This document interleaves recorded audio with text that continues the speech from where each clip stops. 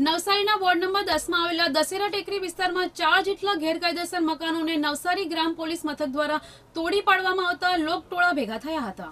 નવસારીના ward number દસમાં આવેલા છાત્રાલયની પાછળના ભાગમાં આવેલી સરકારી જમીનમાં બાંધવામાં આવેલી ચાર જેટલા ઝૂંપડા અને પાકા મકાનોના ડિમોલિશનની કામગીરી રાત્રિના સમય અચાનક જ હાથ ધરવામાં આવતા સ્થાનિક લોકોના લોકટોળા ઉમટી પડ્યા હતા.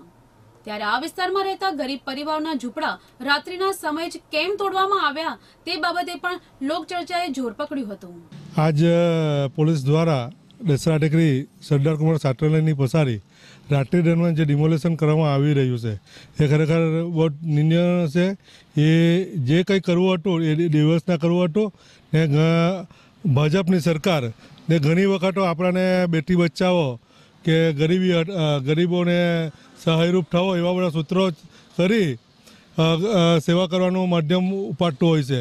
ત્યારે આજરોજ તમે જોઈ શકો છો કે દસરા ટેકરી છાત્રાલયની પસારી જીસીબી દ્વારા પોલીસના બંદોબસ્ત સાથે કોઈ પણ કોઈને પણ જાણ કર્યા વગર આજ ડિમોલેશન ચાલી રહ્યું છે. એ ખરેખર વખોડવા લાયક છે. ઉપરોક્ત બાબતે નવસારી નગરપાલિકાના સભ્ય અને આ વિસ્તારમાં રહેતા પ્રમોદ રાઠોડે જણાવ્યું હતું કે ગરીબી હટાવો અને બેટી બચાવોની વાત કરનાર ભાજપાના રાજ્યમાં આમ અડધી રાત્રે ગરીબોના આવાસ તોડવામાં આવી રહ્યા છે. તે ખરેખર નિંદનીય છે. જ્યારે સમગ્ર હકીકતમાં જાણવા મળતી માહિતી મુજબ આજથી બે વર્ષ પહેલા સરકાર હસ્તકની ઉપરોક્ત જગ્યા નવસારી જિલ્લા કલેક્ટર દ્વારા નવસારી જિલ્લા પોલીસ વડાને ગ્રામ્ય પોલીસ મથક બનાવવા માટે ફાળવવા માટે આવી હતી. તમારું? વિષ્ણુભાઈ. વિષ્ણુભાઈ શું સમસ્યા છે? એ છે કે અમે દસરા ડિગ્રીમાં રહેતા જ છે.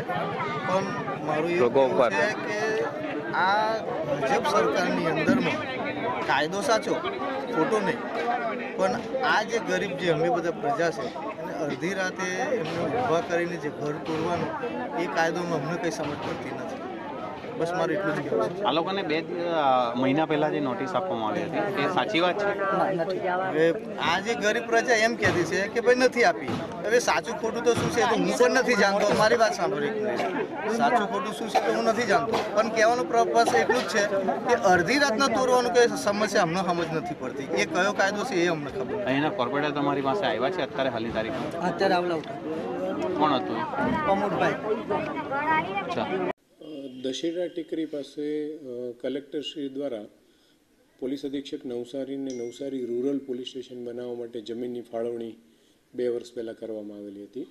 આ જમીનમાં ગુજરાત પોલીસ હાઉસિંગ કોર્પોરેશન દ્વારા ટેન્ડર બહાર પાડી અને ટૂંક સમયમાં એમ તે બાંધકામની કામગીરી હાથ ધરવાની છે. આ જમીન ઉપર લગભગ ચારક જેટલા પરિવારોએ ગેરકાયદેસર રીતે ઝૂંપડા અને પોતાનું મકાન બાંધીને દબાણ કરેલું હતું. લગભગ છેલ્લા દસક દિવસમાં એમને ચાર વખત મૌખિત અને લેખિત આ દબાણ હટાવી લેવા જાણ કરવામાં આવેલી હતી. તેમ છતાં તેમના તરફથી કોઈ કાર્યવાહી નહીં થતાં ગઈકાલે રાત્રિના ટાઈમે પોલીસ ઇન્સ્પેક્ટર નવસારી રૂરલ દ્વારા આ દબાણો છે એ હટાવની કામગીરી કરવામાં આવેલી છે.